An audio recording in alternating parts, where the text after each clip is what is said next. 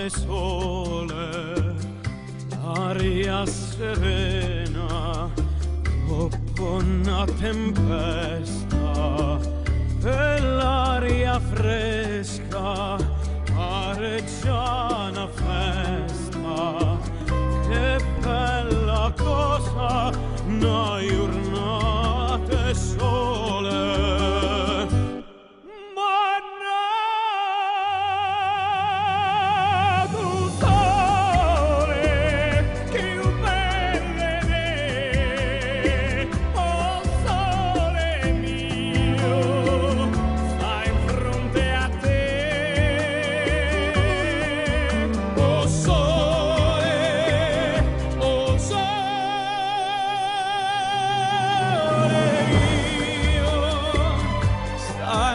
un teatro.